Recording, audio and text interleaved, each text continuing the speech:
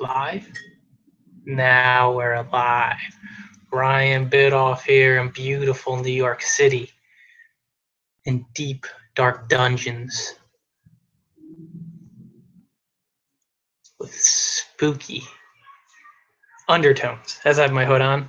And I'm just going to be recording a number of these live hangouts without inviting anybody, just because it's an easier way to record a longer form video right from my laptop.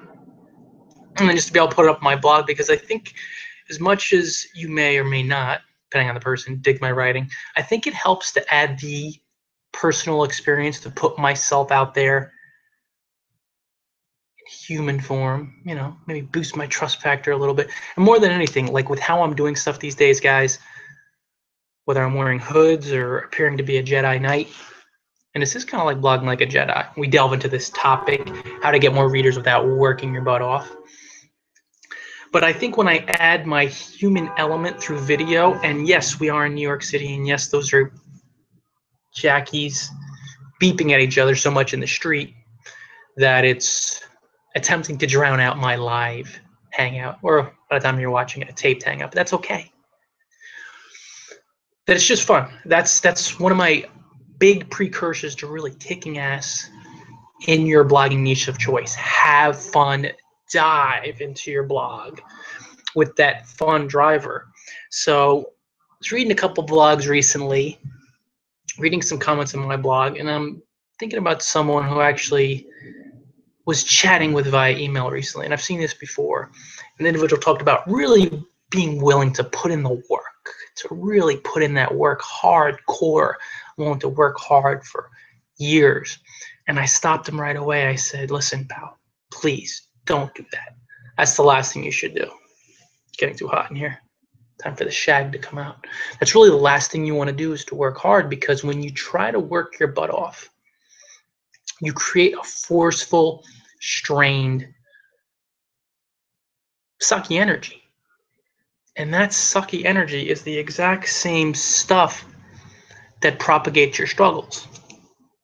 Example, my lovely, illustrious blogging past.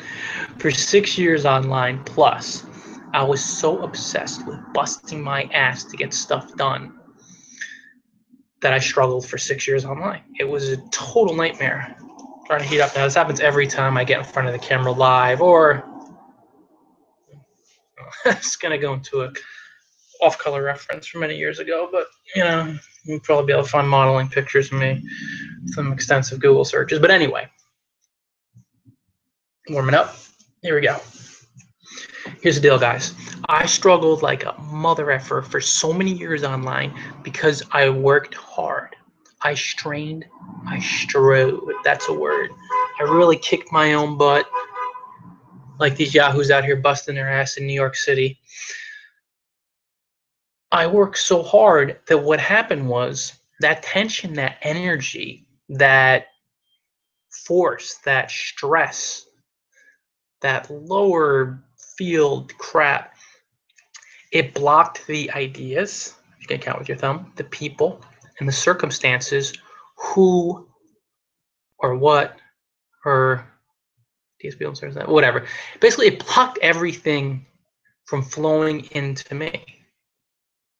By everything, I mean all the good stuff, all the juice, all the the creative ideas, all the creative people. You know, recently I was featured on Forbes. I was featured on Virgin Blog, Richard Branson's blog. I was featured on Neil Patel multiple times. I cyber spoke at NYU. Chris Brogan tweet endorsed me. Now, a couple of these things happened, you know, a year and a half ago. But the recent features creature features were a product of me not straining and striving so damn hard and not pushing myself to get stuff done and just relaxing and having fun more than anything else. And in essence, guys, that's the the nutshell. That's the real, you know, it's so exciting, it's so unbelievably fulfilling to see firsthand that you can get stuff done, you can get more readers, you can draw in more followers without working hard, without working your butt off. And that's really the crux of this hangout, which will be a blog post soon to be seen on bloggingfromparadise.com. And that's really the crux of it. It's how to learn how to manage your energy. That's how you get more readers without working your butt off. Now, a lot of folks are lazy, and that's okay. I'm lazy too. I'm a very, very lazy guy. But if you want to get readers, if you want to grow your readership, to grow your community where it's raving, stark, mad bunch of folks, and you want to do it the lazy way with minimal work, you will have to learn how to manage your energy. And this is something that most people rather not do because it can be a very totally freeing and totally fun, but it can be a super uncomfortable experience at times. And a lot of folks aren't really ready to dive into that hyper uncomfortable, upsetting at times, and maddening and scary experience of realizing that you could just have fun and let go. And everything will happen for you. Literally, you could write to have fun. And as you write to have fun, when that's your driver, you're going to get so much more colorful with your wording your storytelling skills are going to just multiply. They're going to explode like, a, uh, say, a, a, a, nest of cockroaches or rats here in a. Uh, this apartment's really, really nice, but say like in a haha shack or, you know, some slumlord. Really run a crappy, you know, abusive apartment situation and you have a nest of cockroaches exploding in the corner multiplying well that's how my blog has been recently as far as my readership, as far as my shares, all this other stuff. I don't care about that stuff. It all goes down to I am learning how to effectively manage my energy. That's how I'm getting more readers without busting my butt, but just having fun with being lazy, with barely working compared to how I used to work. And today's a perfect example. I wrote my blog post like two days ago, super fun writing it. Then what happened is this morning I hit a publish button and I shared the post on a couple different networks then I did nothing else until this. Live hangout at 2:41 in the afternoon. I did nothing else all day, and the traffic keeps coming in, and I keep getting more readers. You're going to say, but don't you have to work hard? And that hard working energy, that pushing, that straining, that striving, that idea you have to do, do, do more. I did that post recently, published actually a couple months back, but I reference it a lot because it's super key that doing monster versus a being monster, when you have this belief that you cling to, this energy that you need to do like a monster, that you need to keep doing, working hard, putting in more time, putting in more time, that creates your reality. So you'll bust your ass. And you probably struggle because you won't be with that tension. You won't be letting in the creative ideas, those eureka moments that seem to be hitting me like daily. those inspired people, the Forbes not person, but entities, the Forbes magazines of the world and the Richard Bransons of the world. They're not going to have their writers come to you and say, you know what? Feature on my blog. You seem like an expert in your niche. You can't do that type of stuff. You can't manifest those results and get those extra readers if you're full of tension and anxiety because you literally you block them. You tell them to stay away, those energies. But if you're really, really doing what you're doing for fun alone and you're detaching and trusting, then the readers come in with increasingly less effort. With writing a really, really fun, detached, playful blog post that gets a lot of shares and draws more readers and draws more traffic. All because you did it from a fun space and you weren't thinking about trying to get readers. You weren't thinking about trying to get more traffic. You weren't thinking about any of that outcome induced tension building energy that literally is the exact energy that blocks all that awesome sauceness. Now, guys, this is going to sound really weird. If you followed the blogging party line. Now, I'm not talking about those late night lines that you may have seen if you stay up past your bedtime. Go to bed kind of early. Or some of these fiestas they may be having here in Spanish Harlem down the road. Yeah, I'm in East Harlem now. Absolutely awesome neighborhood. Rock's apartment is gargantuan, monstrous rarely see an apartment like this in Manhattan, let alone New York City in general. Huge. You're staying here for the week, what happens is the blogging party line to get more readers, to get more traffic, to generate more income. It's heavily focused on the idea that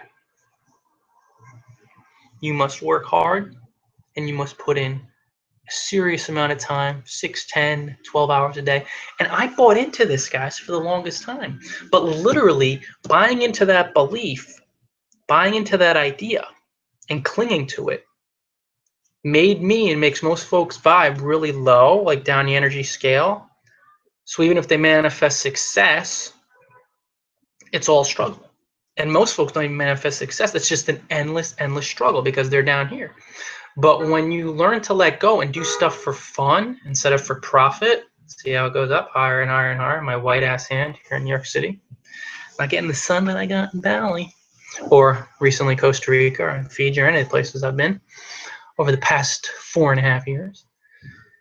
When you buy into that idea of just doing stuff for fun, writing wise, or if you hate writing, if you just do video blogging, or if you're like, you know what, I love these live hangouts on air, tape them and boom, put them right to my blog. I enjoy that. I have fun doing that. What's going to happen is the tension and stress and all that lower energy stuff and the struggle, you're going to let that go. You're not going to stop working hard. You're going to work for fun. You're going to work for fun, work for fun. And it gets higher and higher and higher. And as your energy vibes higher, the readers come in, the cash flows in, the income comes in, famous people come in, high profile blogs want to feature you. It's like an analogy I use on my blog quite a bit, and I used it recently. It's like a moth You've seen them. We see it all the times in tropics. Sometimes moth like this freaking big. I'm not even kidding. We were in Bali. We saw a moth that was almost a foot across, which wingspan foot across the Atlas moth, which was curiously enough, and I noticed from taking a very close image of this sucker, inspiration from Mothra from Godzilla fame you know, Mothra from the Godzilla movies. I was a huge fan as a kid. It was also weird that I kind of got scared of it and I'd hide behind couches when it came on. But that's for another live hangout. Those moths are drawn to the flame and are drawn to the light, and we see it everywhere we go in the tropics. They just bees to honey, flies to boo boo. Readers will be drawn to you, and you will get more and more readers without having to bust your butt with just having fun if you keep having fun. Like if you write a blog post and like, you know what, this seems like it'll be fun. I'm just gonna do this for fun. And like that's your primary driver. Now, how do you get to that point? Because there's going to be so much of that energy that says, I should be, you know, I got to make money with this thing. If I want to become a full time pro blogger and all this other stuff, you know, I'm gonna need readers. I'm gonna need shares. Who's gonna read my blog? It's kind of ridiculous doing something for fun. You know, it doesn't pay the bills, does it? Oh my God, it makes me sick hearing that because that idea was drilled so deeply into my mind and uh, I just clung to it so many fucking years. I just went berserk. But after I let that go, magic. I started doing things for fun. Now, how do you do things for fun? How do you get that baseline of knowing, you know what? I'm not going to do this for money. I'm not going to do this for traffic. You know, because I want to get more and more readers without busting my tail. I just want to do it for fun. Trust. It's the T word, and it's trust. You have to trust that something bigger than you. If you're an atheist, this may not be the right hangout for you. But even if you're an atheist, you could trust in the process, the creative process. If you're not an atheist, and most of my readers aren't, they believe there's some higher power out there. You trust that you are cared, that you're supported, supported, that you're cloaked, loved, hugged by this infinite presence, this infinite power. You can call it the universe, you can call it God, you can call it Gizmo, you can call it the Nazgul. I'm just starting to go pop culture on you, references some of my favorite movies. You probably wouldn't call it the Nazgul because they're between living and dead.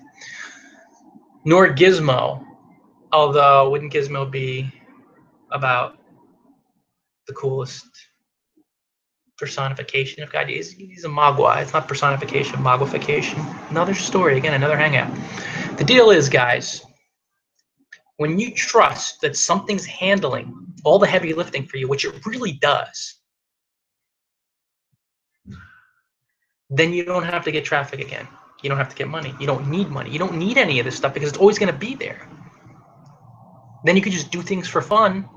And I'm like, I'm just going to do this for fun and then hand it off to the universe. outsource it. That's the general manager. Now, if this seems a bit too spiritual for you, tough shit. That's how I do things. I don't care. This is how I, this is, you know, I'm not catering. This is my life and this is my experience. And that's why I've blogged from Fiji and Bali for months. I lived in Fiji for four months. Who lives in Fiji for four months? I was telling Kelly the other day, we we're walking down Fifth Avenue, some of the most in-demand real estate on earth, some of the most expensive real estate on earth. We're talking Central Park West, all you fans of rich people, all you fans of movies and TV shows, you know, I got Ghostbusters, Tavern on the Green. I mean, I was looking the other day, I was checking out some of the folks who lived there Sting, Bob Costas, all these hedge fund guys. Some of these penthouses, Central Park West, and we we're walking down Fifth Avenue, where a lot of these apartments are condos, homes, 25, 30 million dollars, 35 million dollars apartment. And these are just stunning with unbelievable views. And and I told Kelly, you know what? If one of these people will come down, we struck up a conversation with them, I guarantee you, if we told them that we lived in Fiji for four months, you know, someone like Sting, these people worth hundreds of millions of dollars and just celebrities, and they would shake their head because even they don't live our life we live a rock star life in so many ways because we're largely free. You know, a lot of folks, they're bound. They're tied down. They love what they do, but they're still bound. They okay, let go to where they can live. You know what, movie star, unless it takes off between movies, and even then, usually it's you know a couple weeks if that. Go to Fiji for four months and live in Fiji for four months. Live in Bali for six months. We live a rock star life, even beyond a rock star life. So, like, how do you get to that point well, this goes back to the idea of the trust in the universe. You got to buy into it. It's not to happen any other way if you want to do it without busting your tail. If you want to bust your tail, go for it. But what? And then you wouldn't have tuned in or, you know, watched watch this blog post or tune into this live hangout on air on Google Plus, which I may do more and more because I'm having so much fun with it. And I'm just doing things for fun now. So when you get to that point of trust, you're meditating regularly, you're being present, breathing deeply, bringing yourself back to the moment, seeing that you're always taken care of.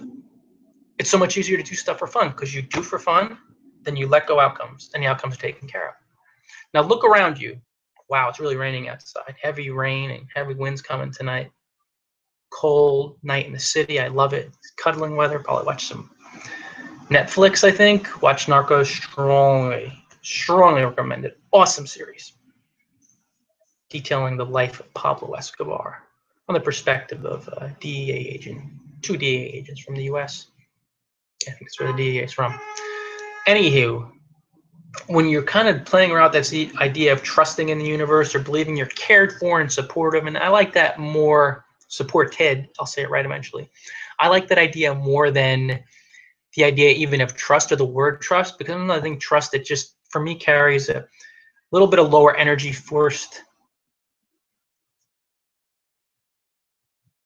connotation where I'm thinking, okay, I have to, I have to, I need to trust. When I'm cared for, when I'm supported, when I'm loved, and basically, you know, you're blanketed, you're clothed, you're cared for, it's there, you're being supported.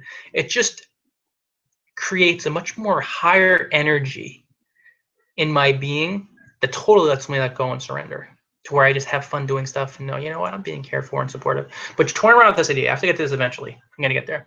You look outside, you see a blade of grass if you have really, really good eyes. Other than that, you see a tree. Look at a tree out the window. We even have those here. I'm here for the week, but I'm going to say here in Manhattan. Ladies with. She almost looks like she has a large rice dish on her head, upside down.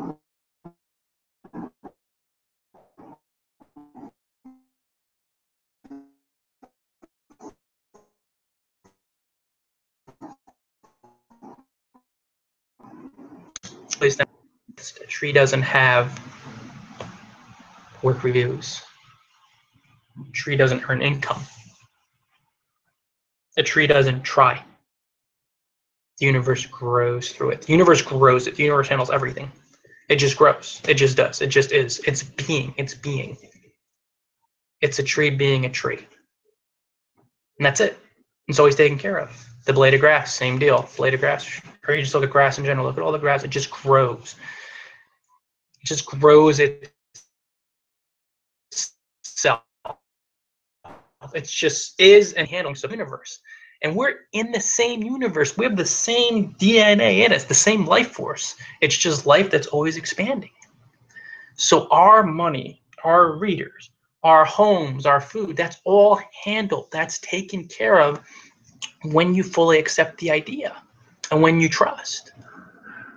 Then what happens is you're detached from that worry, so your creative energy is just the worry of trying to get. I need more readers. I need more income. I need more traffic. I need to build a community. I need more comments.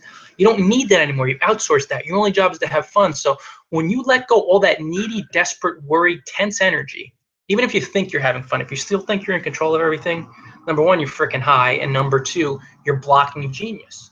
Because once you let go that and you outsource all that end game outcome stuff to the universe, to God, to the force, what happens is your creativity, your fun, because you're just gonna have fun. You're gonna be like, you know what? That's all handled. I'm not gonna work anymore. I'm just gonna have fun. What do I most enjoy doing? You follow your fun. Number one, you're gonna pick a blog topic. If you're not only blogging on a topic, that you just have so much fun talking about all day that you blog about it. And number two, if you already picked that topic, the quality of your posts, the authenticity, the storytelling ability, the energy is going to skyrocket through the roof and you're going to get known. You're going to become a high rolling blogger. You are going to wow the pants off of your audience, which could make for a great visual. You'll wow the socks off them as well. You will have people comparing you to great the great bloggers of the world. Don't know, they have great bloggers. I guess with pretty there's a lot of phenomenal bloggers out there, but I'm almost thinking about like authors or whatever. But they'll they'll compare you to authors. Uh, just recently, somebody was talking about me running either like Hunter S. Thompson or Jack Kerouac. Is that his name? I know Hunter S. Thompson. Yeah. And it's like I just tap keys on a board. Like I'm not. I I, I genuinely don't think I do anything special. I just have fun. I just you know the bribe money for the Forbes and version. No, I didn't bribe anybody. I got on there through my not hard work, through having fun and detachment. But I don't buy into any of that just because I'm just doing my thing and we're all like all so brilliant and so limitless and we just have fun and so detached and we have so much talent and just unlimited abilities within us. But in the same respect, it's just interesting to see because the second late last year when I just said, screw it, I'm just gonna have fun and totally trust I don't trust a thousand percent of the time, but a hundred percent of the time I do. That's a joke. Most of the time I really do trust and I don't care. The quality of my work, my storytelling ability, it just all came to me. It like flowed in. I would just sit here and I'd be like, let me get this idea and let me run with it. And that would be that. And then I get an idea to write a blog post. And I would just sit, stream of consciousness, not forced, not straining and striving, just so effortless. You literally let it in.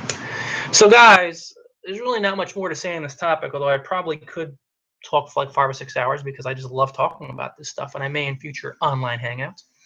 But the thing is, when you're just elated